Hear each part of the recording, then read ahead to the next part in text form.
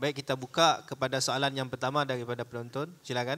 Bismillahirrahmanirrahim. Assalamualaikum warahmatullahi wabarakatuh. Saya nak bertanya bagi pihak Kiai sebagai seorang Asy'ariyah. Soalan pertama, saya ada dua soalan. Apakah pandangan Kiai terhadap hadis Ain Allah yang mana Nabi bertanya kepada seorang budak di manakah Allah dan dia menunjuk ke atas. Kita soalan pertama. Dan soalan kedua berkaitan dengan uh, hadis mengenai keadaan jenazah apabila dicabut nyawanya. Uh, saya tak apa sangat dia punya mantan full dia. Tapi hadis ni panjang. Yang mana roh ni akan dicabut oleh malaikat ikut keadaan dia lah. Kalau dia mukmin dicabut dengan lembut. Kalau dia uh, fasik dicabut dengan keras. Lalu malaikat akan bawa roh dia ke atas berjumpa dengan Allah. Tidakkah hadis ni menunjukkan bahawa kedudukan Allah berada di atas? Sekian terima kasih. Baik, kita kumpul soalan dulu. Silakan.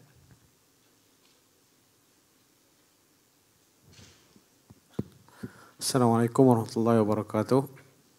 Eh, nama saya Azhar dari Kuala Lumpur. Jadi saya ingin bertanya apa Kiai eh, dalam membahaskan tentang apa takwil ayat-ayat Al-Quran. Kalau tak salah saya pembahasan itu kembali kepada ayat ma ya'lamu ta'wilahu illa Allah warrasikhuna fil ilm. Jadi uh, apabila kita membaca ayat tersebut ada yang membaca secara wasal dan ada yang membaca secara waqaf.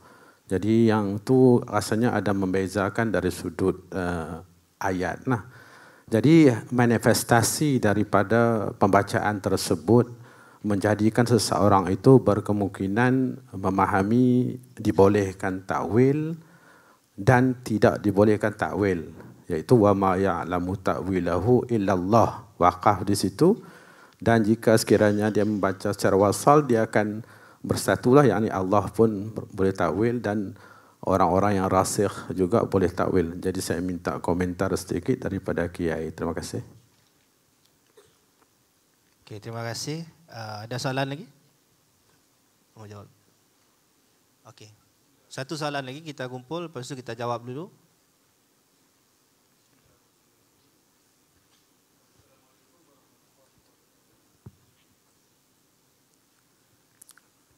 Bismillahirrahmanirrahim. Assalamualaikum warahmatullahi wabarakatuh. Uh, saya nak tanya kepada uh, Pak Kiai uh, tentang ta'amul ma'an nusus al-mutasyabihah. Uh, mengikut ahli sunnah wal jamaah, tentang nusus mutasyabihah ni kita ada dua. Sama ada uh, tafwid ataupun takwil. Uh, cuma kat sini nak tanya tentang apakah perbezaan di antara tafwid dan juga isbat dan macam mana kita nak ta'amul dengan uh, ibarah uh, salaf antaranya dalam kitab Fiqhul Akbar tentang masalah ibarah yang sebut uh, lahu jad ke ataupun lahu ain dan ke seumpamanya. Maksudnya kat sini zahirnya macam ifbat. Tapi maksudnya bila kita sebut tentang Ahlus Sunnah wal Jamaah kita akan kata itu ialah tafwid. Jadi minta pencerahan daripada Pak Kiai. Jazakumullah khairan. Baik, kita minta kepada Pak Kiai untuk menjawab soalan yang dikemukakan. Silakan.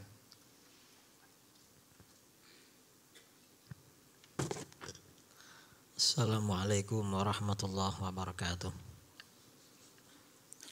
Bismillah, walhamdulillah, wassalatu wassalamu ala rasulillah Sayyidina Muhammad ibn Abdillah. Mestinya soalan ini tadi disampaikan pada Syekh Said Foda. Biar tak segera balik. Karena tadi yang bertanya sikit-sikit.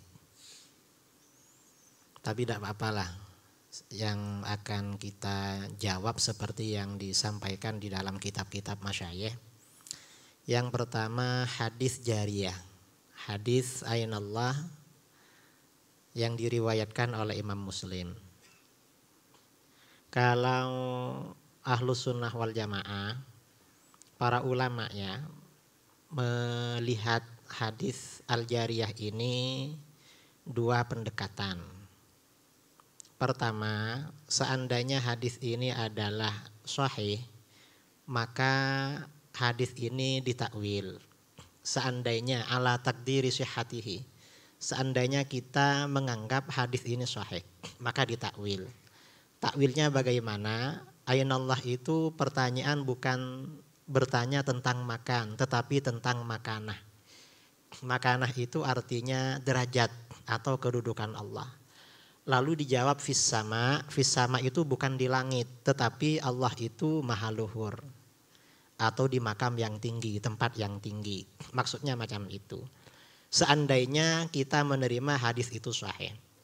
Tetapi para ulama, para ulama ahli hadis tidak menganggap hadis ini sebagai hadis sahih, bahkan menganggap hadis ini sebagai hadis mutawatir. Contohnya seperti Imam Ahmad bin Hambal dalam riwayat Al-Khalal. Kemudian Al-Hafidh Ibnu Hajar dan Al-Imam Al-Bayhaqi dalam As-Sunan Al-Kubra. Imam Al-Bayhaqi dalam As-Sunan dalam sebagian kitabnya menganggap sebenarnya hadis ini tentang apa namanya? soalan ayat Allah di dalam nuskhoh yang asli riwayat Imam Muslim itu tidak ada. Itu idraj ya yang dimasukkan oleh sebagian hufat karena sanatnya sama. Itu kata Imam Al-Baihaqi. Jadi kalau hadis ini sudah dianggap tidak sahih maka persoalan selesai. Jadi ada dua pendekatan masalah ini.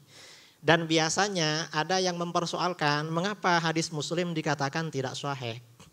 Loh, memang di dalam riwayat Muslim ada sekitar empat hadis yang oleh para ulama tidak diamalkan, dianggap tidak sahih. Salah satunya adalah hadis ini. Bahkan Syekh Ibnu Qayyimil Jauziyah dalam kitabnya Jala'ul Afham menganggap ada sebagian hadis hadis Muslim itu tidak sahih.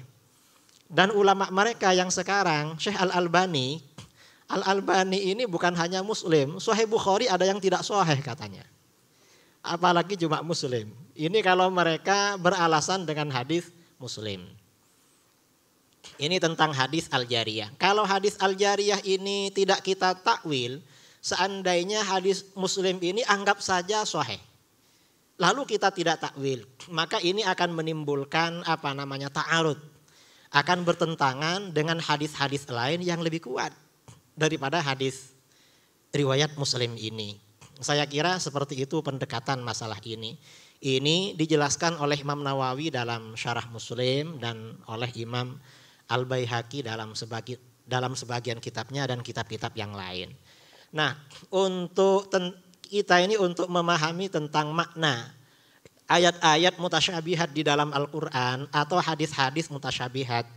Ini ada beberapa kitab yang mufid jiddan ya, yang sangat bagus. Yang pertama kitab Al-Asma was Sifat karangan Imam Al-Baihaqi. Atau kitab Asasut Taqdis, karangan Imam Fakhruddin Ar-Razi. Atau ada lagi karangan Imam Ibnu Jamaah Al-Kinani yang memfatwakan agar Ibnu Taimiyah dipenjara. Idahud dalil liqat'i hujaji ahli ta'til itu. Itu karangan Imam Ibnu, Ibnu Jamaah. Itu banyak membahas tentang takwil terhadap ayat-ayat mutasyabihat. Sama dengan soalan kedua. Itu juga harus ditakwil. Kalau ayat-ayat itu tidak ditakwil, ayat mutasyabihat ini jumlahnya banyak. Kita ini kadang mengapa ya ulama asyairah ini melakukan takwil terhadap istawa. Loh memangnya ayat mutasyabihat di dalam Al-Quran hanya istawa. Bukan hanya itu. Kalau ayat-ayat mutasyabihat di dalam Al-Quran ini tidak ditakwil, maka akan akan menimbulkan sangkaan-sangkaan yang tidak benar.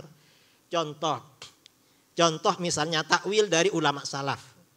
Allahu nurus samawati wal ard. Ini kalau diartikan secara zawahir, zawahir manhajnya salafi wahabi, Allah cahaya langit dan bumi. Cahaya langit dan bumi itu cahayanya apa? Cahaya matahari, cahaya bulan, yang ada di gedung-gedung, di gunung-gunung, di rumah-rumah. Kalau ini tak ditakwil berarti kan cahaya itu Allah itu. Allahu nurus samawati wal ard. Ternyata oleh para ulama ditakwil ya.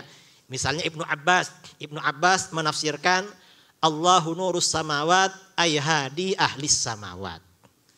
Dalam riwayat lain munawwirus samawat. Allah yang menciptakan cahaya-cahaya di langit-langit dan bumi. Jadi ditakwil. Itu di antara ayat mutasyabihat. Atau misalnya ayat lain ya, ayat mutasyabihat lain yang ditakwil oleh para ulama. Sejak ulama salaf. Fadhkuruni al-kurkum. Ingatlah kalian kepadaku, maka aku akan ingat kamu. Ini firman Allah. Ini kalau tidak ditakwil bahaya. Mengapa? akan menimbulkan fahaman, berarti kalau kita lupa pada Allah, Allah lupa pula pada kita. Karena Allah itu ingat kalau kita ingat pada Allah. Seakan-akan begitu, ternyata tidak oleh para ulama salaf, Ibnu Abbas, Al-Fudail bin Ayyad, dan para mufassir lain menafsirkan menafsirkan ayat itu falkuruni bi alqurukum bi thawabi. Ingatlah kalian kepadaku dengan taat kepadaku. Aku ingat kamu dengan memberikan pahala. Nah ini contoh-contoh takwil. Jadi takwil ini merupakan suatu jalan yang memang wajib dijalankan oleh para ulama terhadap ayat-ayat mutasyabihat. Karena kalau tidak ditakwil akan menimbulkan pahaman-pahaman yang keliru tentang azat Allah. Dan karena itu tentang soalan ketiga, wa ma ya'lamu ta'wilahu illallah warrasikhuna fil ilmi yaquluna amanna. Kan begitu. Ini bagaimana sebagian ulama salaf mengatakan ini wakaf pada wa ma ya'lamu ta'wilahu illallah. Kalau wakafnya sampai wa ma ya'lamu ta'wilahu illallah, berarti ini maksudnya adalah seperti terjadinya hari kiamat. Itu yang dimaksud mutasyabihat. Yang tahu hanya Allah, yang lain tak ada yang tahu. Ini kata para ulama. Jadi kalau wakafnya sampai illal wa ma ta'wilahu illallah, berarti mutasyabihat di sini maksudnya terbatas. Seperti tentang kejadian hari kiamat. Kalau ini maksudnya sampai ini tidak wakaf tapi wasol wa ma ya'lamu ta'wilahu illallah warrasukhuna fil ilm. Ini berarti juga menyangkut terhadap ayat-ayat mutasyabihat berkaitan dengan zat Allah. Maka benarlah penakwilan para ulama terhadap ayat-ayat mutasyabihat karena berarti sesuai dengan ayat ini. Mengapa kalau wakaf ini sampai kepada takwilahu illallah pengertiannya maksud dari ayat ini harus dibatasi kepada kejadian hari kiamat dan perkara-perkara gaib besok setelah hari kiamat dihususkan pada itu. Kalau tidak dihususkan pada itu, berarti tidak ada faedahnya menyebutkan warasikhuna fil ilmi di sini. Karena ar-rasikhun orang awam yang beriman, orang awam yang mukmin juga beriman pada ayat mutasyabihat, sementara orang yang rosikh juga beriman. Apa bedanya orang yang rosikh yang tidak rosikh? Kalau mereka tidak tahu terhadap takwil ayat-ayat mutasyabihat berkaitan dengan zat Allah. Itu yang dijelaskan oleh para ulama seperti itu di dalam kitab-kitab tafsir ya. Nah, saya kira soalan keempat ini sama sajalah. Sama saja. Mungkin ada yang nanti ya, ada yang tanya tentang tadi ceramahnya yang Wahabi itu. Ceramahnya Wahabi itu macam mana menurut kita? Kalau ini kan soalnya Wahabinya tak ada di sini. Baik. Nah, di sini ada satu soalan yang dihantar kepada saya dan saya nak bacalah. Soalan ini panjang macam surat kepada yang berbahagia Kiai Idrus Samli ni, surat ni. Uh, tapi bukan Wahabi Ustaz. Okey, baik. Assalamualaikum. Dia kata, Ustaz, mohon penjelasan perkara ini. Ada tu tulis Wahabi. puak Wahabi dia kata puak Wahabi Salafi mengatakan bahawa puak ahli sufi juga para habaib seperti Habib Umar itu melakukan kesyirikan kerana menuduh mereka penyembah kubur, kuburiyun. Contohnya adakah mengambil tanah kubur dari kubur para wali itu dikira syirik? Adakah itu hanya sebagai tabaruk? Itu yang pertama. Yang kedua, saya pernah dengar puak Wahabi Salafi mengatakan almarhum Syekh Muhammad Al-Alawi Al-Maliki memuji Syekh Muhammad Abdul Wahab dan tidak menyesatkan beliau. Sedangkan sekarang ini ajaran Wahabi itu bercanggah dengan Ahlus Sunnah wal Jamaah. Okey Ustaz boleh uh, respon. Yang pertama soal Habib Umar ya. Yang pertama kuburiyun ya. Jadi orang-orang Wahabi ini menganggap kita kuburiyun. Kuburiyun itu artinya ubadul kubur, penyembah kuburan. Nah, apakah ini benar istilah yang mereka sebutkan ubadul kubur? Istilahnya saja keliru. Kan istilah kuburiyun ini merupakan apa ya tatbik, aplikasi dari tauhid uluhiyah. Jadi pengaruh dari tauhid uluhiyah adalah ada istilah penyembah kuburan. Mengapa ada istilah penyembah kuburan menurut Wahabi? Jadi menurut Wahabi bertabarruk dengan kuburan para nabi, para aulia, orang soleh itu syirik. Apakah benar syirik? Jelas tidak benar. Mengapa tabarruk, tawasul, istighatsah itu bagian daripada wasilah? Di dalam Al-Quran, Ya ayyuhalladzina amanu taqullah wabtagu ilaihil wasilah. Wasilah itu perintah dari Al-Quran. Tabarruk itu bagian dari wasilah. Dan bukan termasuk ibadah. Karena ibadah itu kata para ulama ghayatul khudu' wa tazallul. Puncak dari ketundukan dan kerendahan diri. Dan itu hanya berlaku kepada Allah. Karena itu tawassul, tabarruk, istighatsah itu bukan ibadah. Karena bukan ibadah, maka bertawassul, beristighatsah, bertabarruk dengan para nabi, dengan kuburannya, itu juga tidak masalah. Bukan termasuk syirik. Yang keliru itu wahabi. Siapa orang yang pertama kali bertabarruk dengan kubur? Yang pertama kali bertabarruk dengan kubur adalah Sayyidina Abu Bakar. Ketika menjelang wafat, beliau berwasiat agar kuburannya di samping makam Rasulullah Shallallahu Alaihi Wasallam. Yang ketiga adalah Sayyidina Umar. Sayyidina Umar itu juga kuburi karena bertabarruk dengan kuburan Rasulullah dan Abu Bakar minta dimakamkan di sana. Jadi ini apa namanya bukan bukan penyembah kuburan. Lah lalu tentang orang bertabarruk dengan mengambil tanah kuburan orang wali. Sejak Ibnu Taimiyah belum lahir sudah ada. Ini ada kitab namanya Tabaqatul Hanabilah. Tabaqatul Hanabilah yang dikarang oleh Ibnu Abi Ya'la Al-Farra. Ketika ada ulama Hambali meninggal di dunia di Baghdad, namanya Asy-Syarif Abu Ja'far Al-Abbasi. Asy-Syarif Abu Ja'far Abdul Khalik bin Ahmad Al-Abbasi meninggal dunia, orang Hanabilah membaca Al-Quran hataman di makamnya sampai hatam 10 ribu kali. Padahal orang Wahabi kan mengharamkan baca Al-Quran di kuburan. Ulama yang katanya menjadi ikutan mereka dihatamkan Al-Quran di kuburannya 100 kali. Bahkan setelah itu dari kuburannya Asyarif Abu Ja'far ini orang-orang Hanabilah banyak mengambil tanah untuk tabarruk. Jangan dikira tidak ada untuk tabarruk. Termasuk Ibnu Taimiyah. Ibnu Taimiyah setelah meninggal dunia diceritakan oleh Ibnu Nasiruddin Ad-Dimashqi dalam kitabnya Ar-Raddul Wafir ya. Yang banyak dikutip tadi oleh Ustadz Sobri, itu kan banyak mengutip dari Ar-Raddul Wafir, pujian-pujian yang apa namanya terlalulah kepada Ibnu Taimiyah. Ketika Ibnu Taimiyah meninggal dunia, ada muridnya sakit mata atau sakit apa, mengambil tanah dari kuburan Ibnu Taimiyah katanya sembuh lepas itu.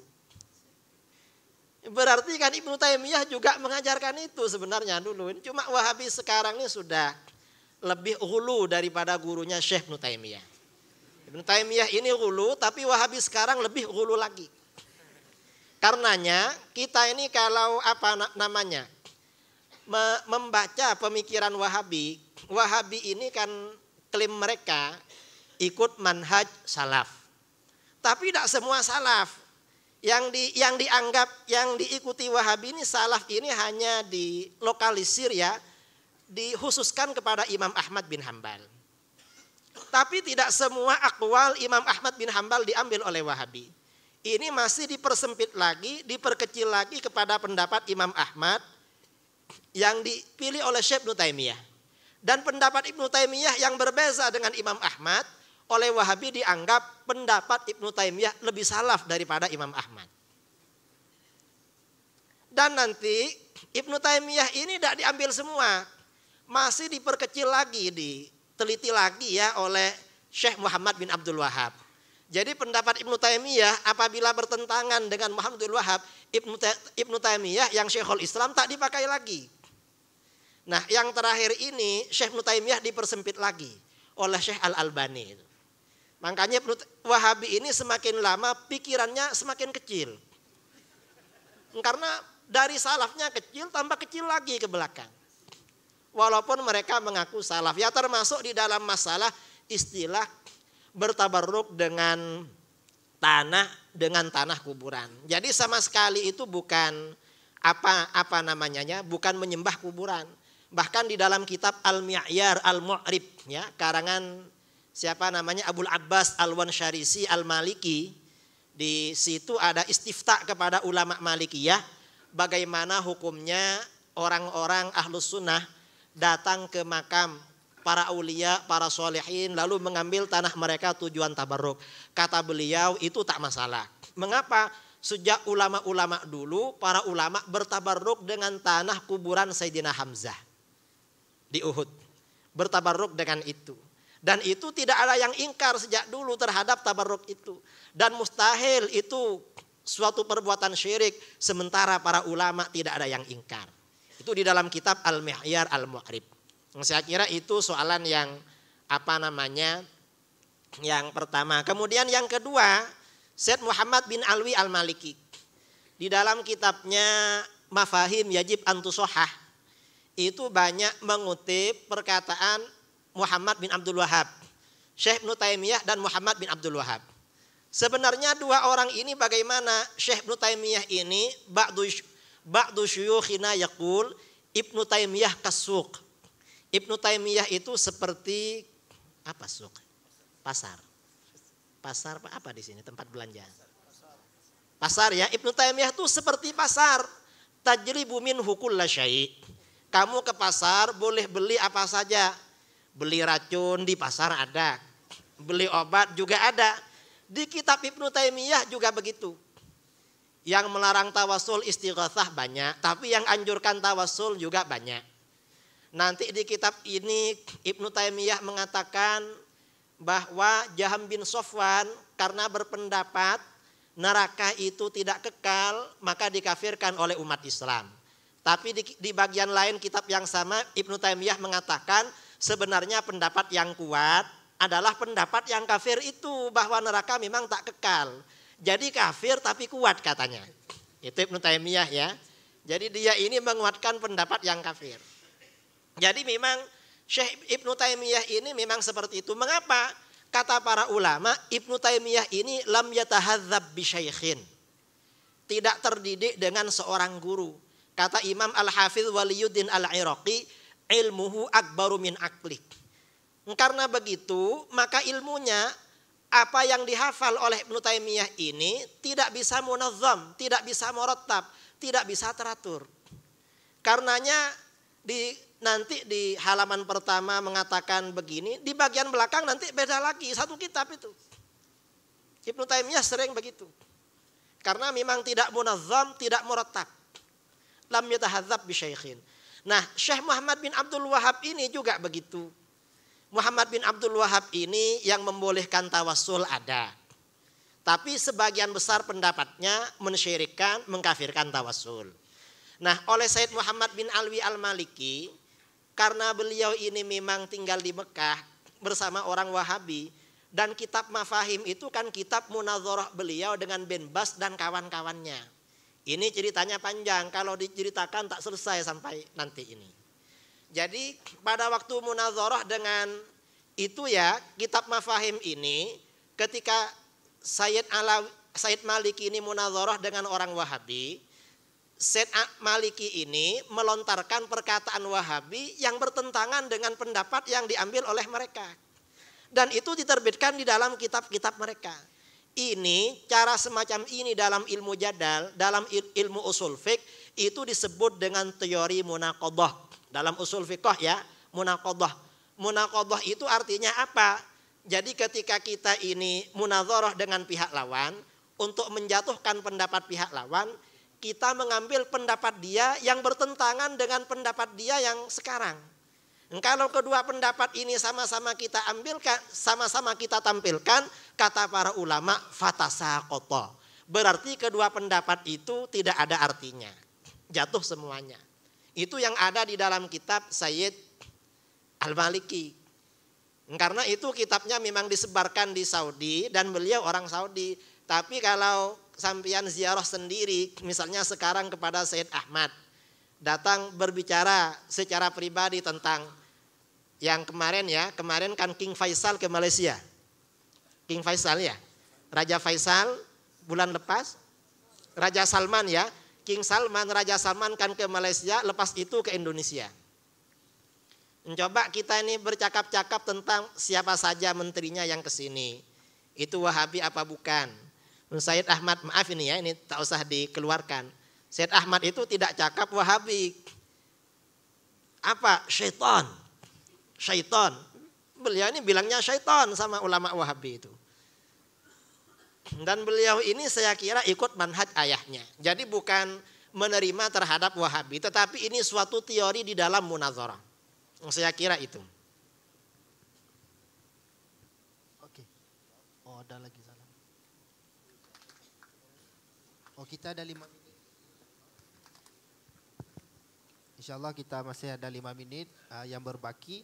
Dan di sini ada soalan uh, Pak Kiai. Assalamualaikum. Uh, sekejap kan, kita ada satu soalan. Kita lima minit. Ada banyak soalan kah? Satu soalan. Satu soalan. Okey, baca dulu. Um, uh, Nik Muhammad Marzuki dari Kuala Lumpur. Um, uh, Kiai, uh, apa yang saya dengar bahawa um, kelihatannya ramai ulama, jumhur ulama Dekatkan sikit. dikatakan uh, jumhur ulama dan juga banyak juga muassasah Islamiah seperti Jamiat uh, uh, Al-Azhar Syarif uh, membuat uh, satu ketetapan rasmi bahawa uh, As-Salafiyah ataupun Al-Wahabiyah ataupun Al-Mazhab Taimi yang disebut oleh Syekh Said Faudih tadi tidak dianggap sebagai sebahagian daripada Ahli Sunnah wal Jamaah sebaliknya dianggap sebagai salah satu daripada firqah di dalam Islam. Soalannya adakah perkara ini benar atau sebaliknya? Apa pandangan uh, tuan sendiri dan juga keputusan rasmi di pihak Nahdlatul Ulama yang tuan wakili. Juga dalam konteks negara Indonesia itu sendiri adakah di sana terdapat keputusan resmi mengenai perkara ini? Itu saja soalannya. Terima kasih. Assalamualaikum warahmatullahi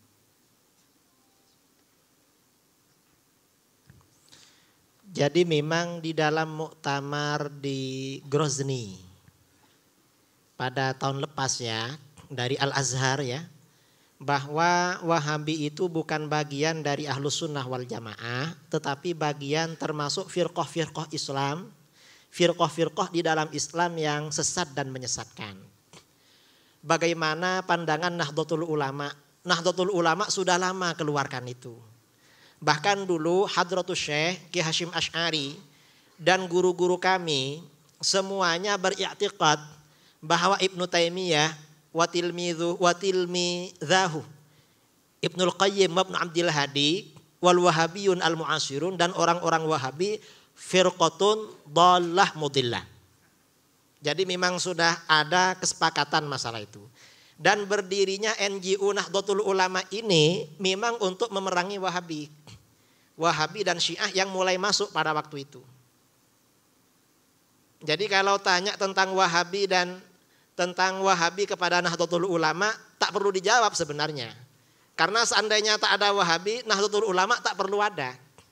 Karena ini memang untuk menghadapi Wahabi dengan dengan Syiah dan firqah-firqah dolah yang berkembang sampai sekarang. Gitu. Saya kira itu. Baik, kita ada sedikit masa lagi. Uh, mungkin ada soalan kita benarkan dan saya nak tanya kepada Pak Kiai biasa diungkitkan berkaitan dengan uh, kisah yang disebut dal, uh, apa ni oleh Ibnu Battuta berkaitan dengan uh, apa tadi Ibnu Taimiyah. Tetapi uh, mereka mengatakan itu kisah uh, pendustaan yang dilakukan oleh Ibnu Battuta. Mungkin uh, Pak Kiai boleh respon. Kisah yang disebutkan oleh Ibnu Battuta di dalam rihlahnya itu itu apa namanya saya kira itu benar dan kitab-kitab Ibnu Taimiyah itu mendukung terhadap kisah itu. Akidah yang disebarkan oleh Syekh Ibnu Taimiyah dan orang-orang Wahabi justru mendukung apa yang ada di kisah rihlahnya Ibnu Battuta dan kisah-kisah lain. Dan yang menjadi syubhat dari Wahabi karena tahun ya, tahun kejadian yang disampaikan oleh Ibnu Battuta itu berbeza dengan Ibnu Taimiyah pada masa itu. Katanya Ibnu Taimiyah di penjara atau macam mana begitu. masalah penyebutan tahun itu terjadi kekeliruan itu hal yang biasa. Tahun itu keliru saya kira hal yang biasa. Dan kekeliruannya itu mungkin ya dari apa namanya? Mungkin dari nasikhul kitab menulis tahun itu. Atau mungkin Ibnu Taimiyah ada siapa Ibnu Batutoh ada silap tentang ingatan tahunnya. Tetapi kalau asrul kisahnya itu kalau kita hubungkan dengan akidahnya Ibnu Taimiyah sepertinya saling menguatkan.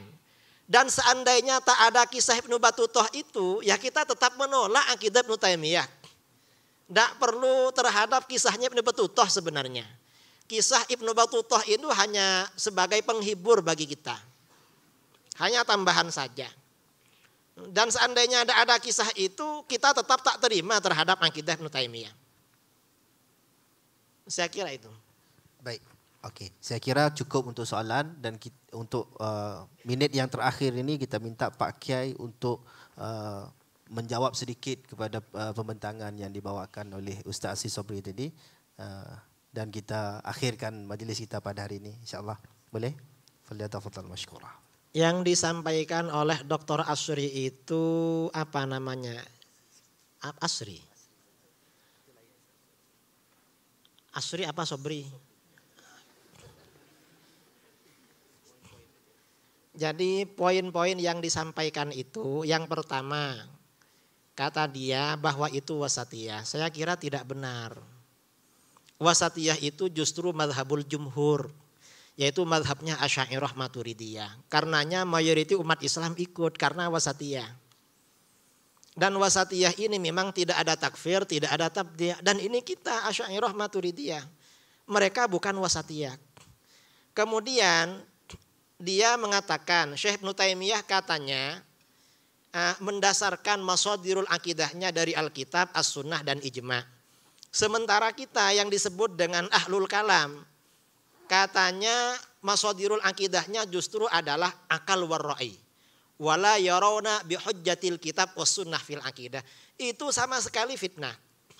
Dan yang dikutip oleh Asri di dalam bukunya itu perkataan Imam Saifuddin Al-Amidi di dalam kitabnya Ghayatul Maram fi Ilmil Kalam. Setelah kita lihat ternyata yang dibicarakan oleh Imam Saifuddin Al-Amidi itu adalah tentang maslak. Imam Al-Amidi itu artinya macam mana? Bahwa kata beliau yang dibahas itu adalah tentang jawazur ru'ya, jawazur ru'yatillah fil akhirah. Melihat Allah di akhirat itu boleh apa enggak? menurut Mu'tazilah Allah itu tak mungkin dilihat. Nah, menurut Asy'ariyah Allah itu mungkin dilihat. Sedangkan Al-Qur'an dan Sunnah menunjukkan jawazuha syar'an. Wuku'iha syar'an.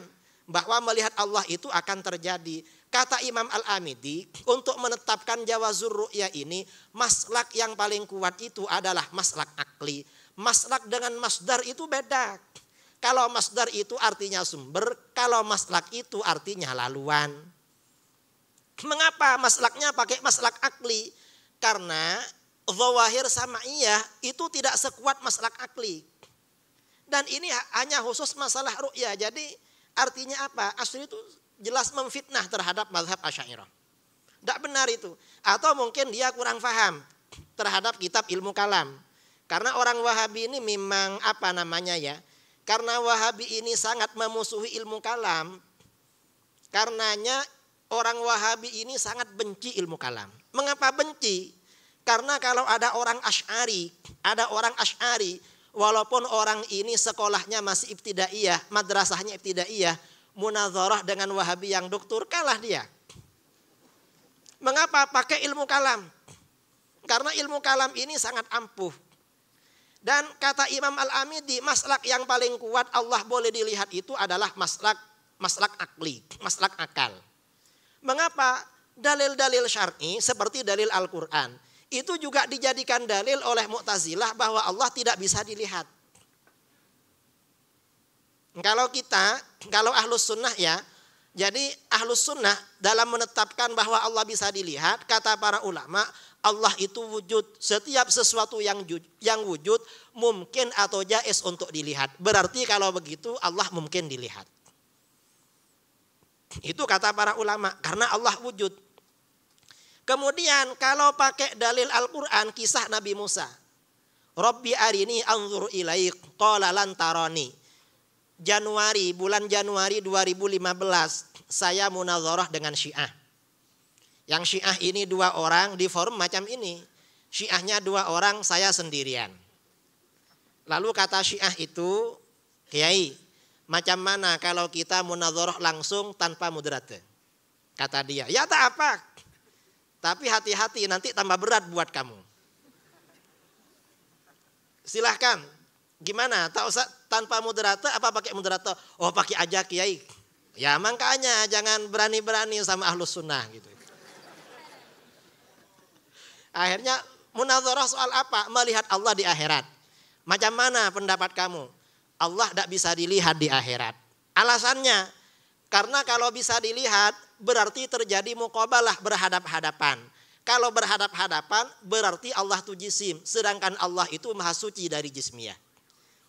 Wah itu tak benar. Allah itu menurut kami bisa dilihat. Mengapa? Karena Allah wujud. Setiap sesuatu yang wujud mungkin untuk dilihat. Tidak mustahil dan tidak wajib. Nah terus macam mana melihatnya?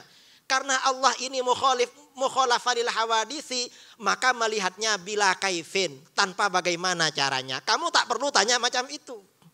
Karena itu Allah. Pertanyaan kamu yang keliru. Akhirnya kata dia, ada dalil bahwa Allah tak boleh dilihat. Mana dalilnya? Ketika Nabi Musa berdoa, Robbi arini anzur ilaik. Tuhan, perlihatkan azatmu kepadaku. Aku akan melihatmu. Kolah lantaroni. Tuhan berfirman, Musa, kamu tak akan melihat aku. Jadi jelas, Nabi Musa minta melihat oleh Allah tak bagi. Karena memang Allah tak bagi dilihat. Lalu saya jawab, ini masalah akli ya, masalah akli. Yang orang Wahabi tidak bisa seperti ini. Justru ayat ini menjadi dalil Allah bisa dilihat. Mengapa? Yang pertama Nabi Musa berdoa kepada Allah. Tuhan perlihatkan azatmu kepadaku. Dan mustahil seorang Nabi meminta sesuatu yang tidak benar. Apalagi ini berkaitan dengan ilmu tauhid. Karena kalau Nabi Musa ini karena kalau Allah ini memang tak bisa dilihat, Nabi Musa tidak akan meminta. Seorang nabi tidak mungkin jahil, bodoh di dalam masalah ilmu tauhid, lalu kamu Mu'tazilah lebih pintar daripada dia. Masa kamu lebih pintar daripada Nabi Musa? Itu yang pertama. Yang kedua, di dalam ayat ini Allah berfirman walakin inzur ilal jabal fa in makanahu fasawfa tarani. Ternyata di sini Allah mentaklek, mentaklek bolehnya melihat Allah dengan perkara yang jais, yaitu istiqrarul jabal. Ketika ini dihubungkan, ditaklek, dihubungkan dengan perkara yang jais, berarti melihat Allah itu adalah jais. Berarti kalau begitu Allah itu jais dilihat. Lalu tentang lantaroni walakin inzur ilal jabal, ini maksudnya macam mana? Kamu tidak akan melihatku ketika di dunia akan melihat nanti di akhirat. Soalnya Nabi Musa minta melihat di dunia. Itu tak dibagi oleh Allah. Itu maksudnya. Akhirnya macam mana? Akhirnya yang syiah itu diam. Tak boleh jawab. Nah ini artinya apa? Kata Imam Saifuddin Al-Amidi, maslak akli ini memang 50-50. Jadi maslak syariah pakai nas syariah seperti tadi. Mengapa? Asyairah berdalil Allah boleh dilihat dengan lantaroni, sementara itu juga dalilnya Mu'tazilah. Sama-sama bisa dipakai menjadi dalil. Karenanya di dalam isbat jawazir ya kata Imam Saifuddin Al-Amidi yang lebih kuat itu adalah maslak akli. Ini yang Wahabi tak tahu. Jadi memang apa namanya tak tak faham dia masalah ini. Kemudian sebenarnya tadi itu ya banyak banyak dakwah ya, banyak banyak dakwaan-dakwaan kepada Asy'ariyah, banyak pengakuan-pengakuan seperti mengatakan bahwa jumhur kita ini kalau mengartikan sawadul a'zam, sawadul a'zam di Iran itu Syiah, berarti yang benar ikut Syiah. Lalu sawadul a'zam di Amerika itu adalah orang kafir, berarti yang benar orang kafir. Letak macam itu yang dimaksud sawadul a'zam. Yang dimaksud sawadul a'zam itu di dalam hadis Rasulullah itu jami'ul ummah maksudnya. Bukan orang Iran, bukan orang Saudi, bukan Amerika. Lah ini kok diartikan sendiri. Jadi memang Kalau Wahabi, Wahabi ini mendalilkan mereka ahlus sunnah biasanya pakai hadis apa namanya ghuraba. Jadi tuba lil ghuraba itu pakai hadis ghuraba. Karena ghuraba ini kan padahal yang dimaksud ghuraba orang-orang yang sedikit itu artinya orang-orang soleh di antara banyak orang yang tidak soleh. Memang orang yang soleh sedikit, tetapi itu bukan orang Wahabi maksudnya. Mengapa? Karena sedikit di dalam nusus syariah, di dalam hadis itu ada dua. Ada istilah ghuraba, itu adalah para sulaha dan para aulia memang sedikit. Ada lagi yang sedikit di dalam hadis itu bahasanya bukan ghuraba tetapi syad. Wa man syadza syadza ilan nar. Nah, Wahabi ini sedikit tapi sedikit yang syad itu. Itu yang perlu kita tahu. Nah ini di antara apa namanya ya eh, taklek saya terhadap ceramahnya dokter belum dokter Ustadz Asri Sobri tadi itu. Dan masih banyak sebenarnya cuma saya tadi tak catat ya cuma catat catat sebagian itu. Sebenarnya ya bisa ditaklik semua itu bisa jadi satu buku untuk ngerot ceramahnya Asri Sobri tapi insya Allah uh, sedikit ini menjadi gambaran lah bagi yang lain. Mudah-mudahan boleh difahami. Dari saya wal afu minkum. Assalamualaikum warahmatullahi wabarakatuh. Waalaikumsalam warahmatullahi taala wabarakatuh. Majlis mengucapkan jazakumullah khairal jaza kepada Kiai Haji Muhammad Idrus Ramli di atas uh, penyampaian pada petang ini